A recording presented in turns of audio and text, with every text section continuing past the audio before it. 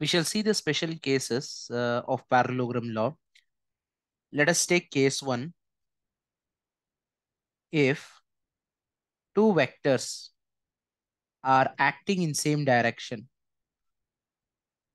then what will be the resultant value we need to find?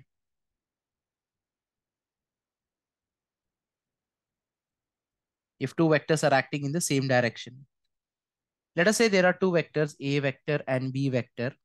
Both the vectors are acting in the same direction. So what is the angle between the two vectors? Angle between the two vectors is zero degree. They are parallel vectors.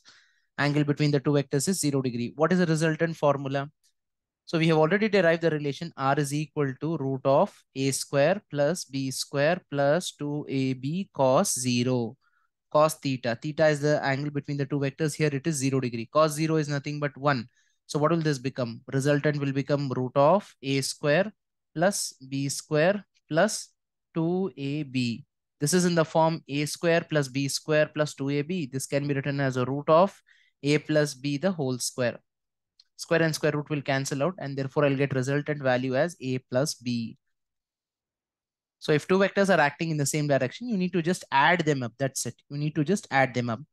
And I'll call this resultant as the maximum possible resultant. I'm calling the resultant as maximum possible resultant because I have substituted the maximum value of cos function that is 1. You know that cos function oscillates between uh, plus and 1 and minus 1, isn't it? The cos value, the cos function oscillates itself between plus 1 and minus 1. So cos 0 is equal to 1 is the maximum value of cos function and cos 180 degree is equal to minus 1. That is the minimum value of the cos function. Now, since uh, I have substituted the maximum value of cos, cos 0 is equal to plus 1, I have substituted the maximum value of cos. Therefore, resultant also will be maximum. So case 2, if two vectors are acting in opposite direction. If two vectors are acting in opposite direction. So what will be the resultant if they're acting in opposite direction? So if the two vectors are acting in opposite direction, then what we have to do, we have to first find the angle between the two vectors. What is the angle between the two vectors? These are anti-parallel vectors. The angle between the two vectors will be equal to 180 degree. And what is cos 180 degree? Cos 180 degree value is equal to minus 1. Cos 0 was equal to plus 1. I had substituted the maximum value. Now I'll be substituting the minimum value of cos because they're acting in opposite direction. So what will be the resultant? Resultant will be root of a square plus b square plus 2ab plus 2ab cos of 180 degree. Cos 180 degree is minus 1. So when we substitute this, what do will we get? We'll get this as a root of a square plus b square minus 2ab. This this will be in the form a minus b the whole square. Square and square root will cancel out and so you will get a minus b as the resultant. And since I have put uh, the minimum value of cos that is minus 1, the resultant that I'll be getting is minimum resultant and that is equal to a minus b. Therefore, what you need to understand here is if two vectors are acting in the opposite direction, just subtract them if they are acting in the same direction, just add them. This is the maximum possible resultant and this is the least possible resultant. Case 3, a different case. Like let us say I need to find the subtraction of two vectors. See what I have done is I found the addition of two vectors. I found the addition magnitude. I added up two vectors and I took the magnitude. What was that called? That was only called as resultant, isn't it? Resultant was addition, the magnitude of the addition of two vectors. And that was found to be how much? a square plus b square plus 2ab cos of theta. This was the resultant value, isn't it? Now I need to find the uh, subtraction magnitude. What I need to find? Subtraction magnitude. Let us say I want to find a vector minus b vector ka magnitude. I want to find the magnitude of a vector minus b vector. So first what I will do, I will, I will find this a vector minus b vector. I will write this as a vector plus negative of b vector. See, there is no separate rule for subtraction. Okay. Subtraction is extension of addition. So minus of b vector, you're writing it as just plus of minus b vector. Isn't it? Subtraction is extension of addition. So minus, you're writing it as a plus of minus b vector. So if I draw a diagram here, let us say this was my a vector. Okay. And this was b vector how do you find the resultant of these two vectors? How do you how did you find the uh, resultant? You had completed the parallelogram and then diagonal represents the resultant, isn't it? The resultant is nothing but uh, a vector plus b vector. A vector plus b vector. I want to find a vector minus b vector. So what I'm going to do is, what I'm going to do, I need to first write minus as plus of minus.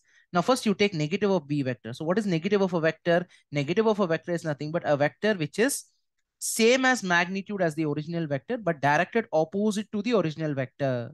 So minus b vector is just exactly opposite to plus b vector. So this is going to be minus b vector, but keep in mind that the magnitudes will be same. If the length of this is b, isn't it? If the magnitude of this is b, this is also going to be b only. It will not be minus b, isn't it? Magnitude is same, but what will reverse? Only the direction will reverse. So I first took negative of b vector. Now what I have to do with a vector and negative of b vector, you need to add them. What you have to do? You have to add them. So how do you add? using parallelogram law. So I have a vector with me ready. I have minus b vector ready with me. I have to add them. So what I will do, I'll draw a parallel side for minus b vector and I'll draw a parallel side for a vector. So the diagonal is going to represent the resultant. Diagonal is going to represent the resultant. And what is the angle between a vector and minus b vector? This whole thing is a straight line, isn't it? This whole thing is a straight line. So if this is theta, this is going to be 180 degree minus theta. And what is this diagonal value? This diagonal represents what? It represents a vector plus what are you adding? A vector and negative of b vector you are adding. So what will be the value of this?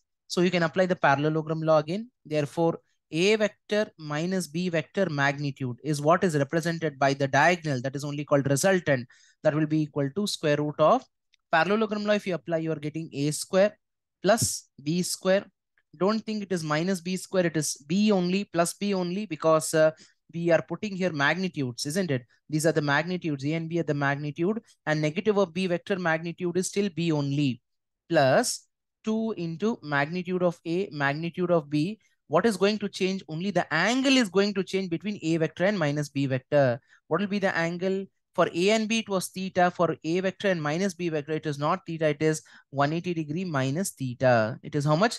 180 degree minus theta. And what is cos of 180 minus theta? We know cos of 180 degree minus theta is nothing but minus of cos theta. It is how much? Minus of cos theta. So therefore, a vector minus b vector magnitude will be equal to root of root of a square plus b square cos 180 will become 180 minus theta will become minus cos theta. So it is minus 2ab into cos of theta. This is the subtraction magnitude. Addition magnitude was the root of a square plus b square plus 2ab cos theta, isn't it? Subtraction of two vectors magnitude is given by root of a square plus b square minus 2ab cos theta. So this point and this point you need to remember.